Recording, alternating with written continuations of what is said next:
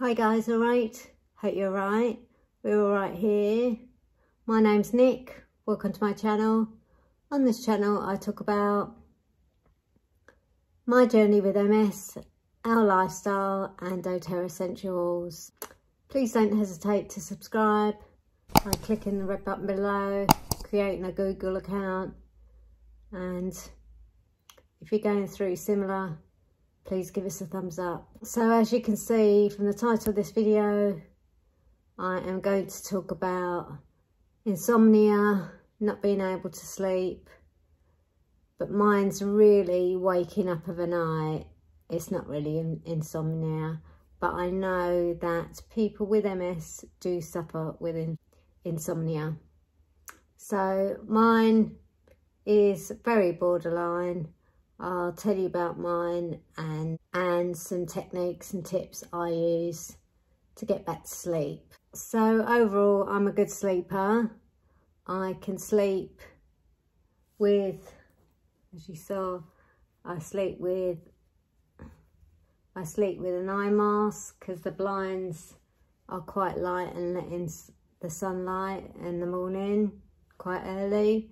So I use this and I have pillows on the bed as you can see so I can use them to sit up when I'm awake in the night.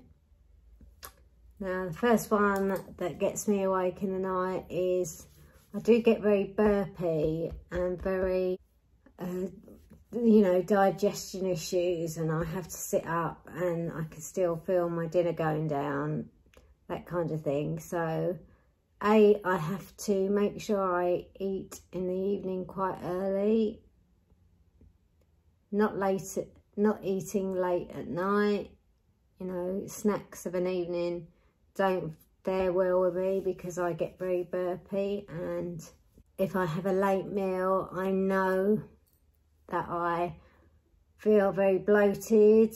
And I use this product, I'll put it here, just a digestion product to help digest my food and I just roll it on my tummy. So that's the doTERRA Digest Zen and as I say, this is the picture. So that helps a lot.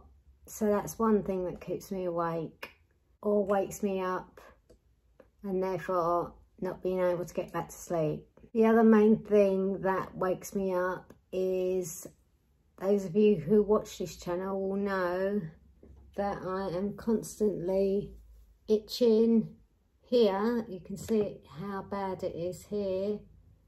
I get very hot and that's an MS thing.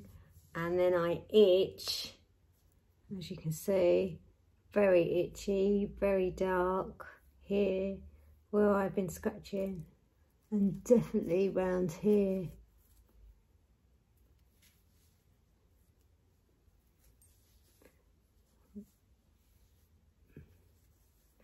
I'm sure it's not coming up very well, but very scratchy. I have to keep my hair up when I sleep because I get very scratchy here and in my head, which I have posted a video of before.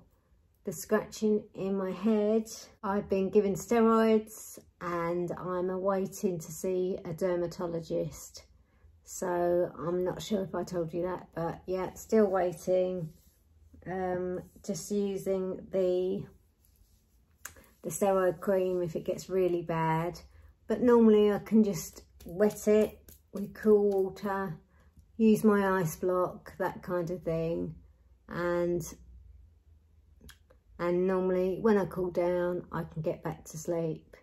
But I'm sleeping with the cooling blanket and trying to keep as cool as possible because the heat being a, being that we're in Australia, Western Australia, it's very warm here and it's still summer and the warmth and the hot weather is keeping me awake.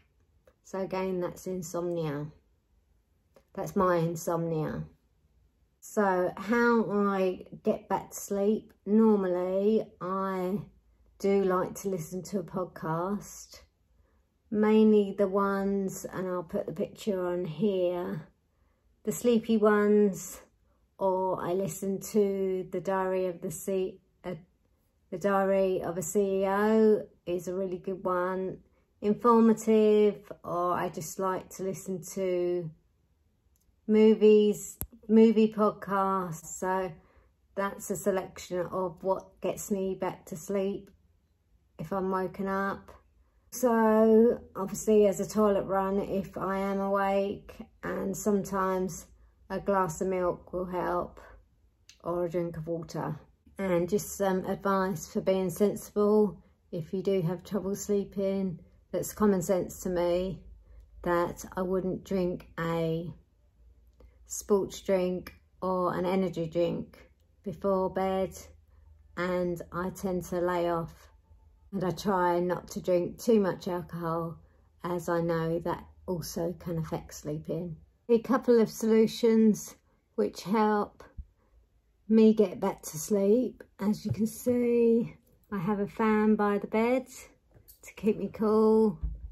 Maybe a drink of herbal tea of an evening and lavender, doTERRA essential lavender, which I'll put here, also helps. So a couple of solutions that help me. So that's me in a nutshell. So that's me at night time with what I call my insomnia. I do relatively sleep through quite a lot and if I do wake up, I, as I say, can get to sleep. I hope me sharing my story has helped. I know some people are awake two or three or four or five, six hours in the night and don't even sleep. So I count myself very lucky and definitely mine is minimal. Obviously, if you are going through difficult times sleeping, please see your GP. Don't take my word for it. So can I take this opportunity to thank you for watching. If you're watching till now, give us a thumbs up if you're going through similar. Please don't hesitate to subscribe. And I'm wishing you a good week. Take care, be kind, and we'll see you next time. Thanks for watching. Bye. Yes, as you can see, I haven't put any touch-up makeup on, as you can see dark circles are a part of maybe lack of sleep. So I've kept kept my circles to show you.